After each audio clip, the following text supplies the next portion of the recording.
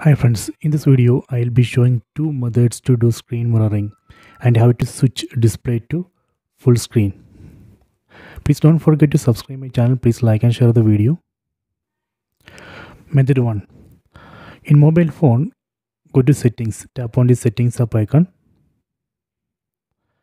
Go to Bluetooth and devices, tap on Bluetooth and devices. Then go to smart mirroring tap on smart mirroring. Then tap on screencast. So here we can see the name of the tv this is the name of the tv which i am using. The mobile phone will automatically detect the tv if both tv and mobile phone both are connected to same wi-fi network. So that is the main requirement. We have to connect both mobile phone and tv to same wi-fi network. Then tap on this tv name. Then tap on start now see it's working. So this is the method one. So if you want to stop it again go to settings uh, then bluetooth and devices screencast then tap on tv name then tap on disconnect.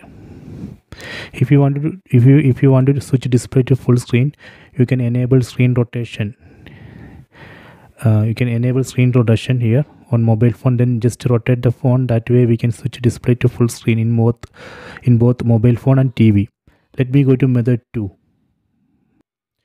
in mobile phone open google play store then we have to install this app google home app. I already installed it. Let me open it. In google home app we have to log in with gmail id and password. Then tap on this devices tab. Here we can see devices tab uh, tap on devices. You can see google home has detected my tv here also the same requirement. We have to connect both mobile phone and tv to same wi-fi network. Then this google home app will automatically detect tv in the same wi-fi network. Tap on this tv name. Then tap on cast my screen. Then tap on cast screen. Then tap on start now. Okay done. It's working. So this is a method 2 here also we can enable screen rotation on mobile phone then just rotate the phone that way we can switch display to full screen in mobile phone and tv so if you want to stop this casting again go to google home then tap on stop mirroring. Done. Okay so these are the two methods. Here i am using tv which has casting feature. Let me go to settings. Here i am using google tv the same method we can use in uh, Android TV as well. In TV, go to settings, then system, and go down here. We can see cast. So this this TV has Chromecast feature, so that is why this is working. That is another requirement.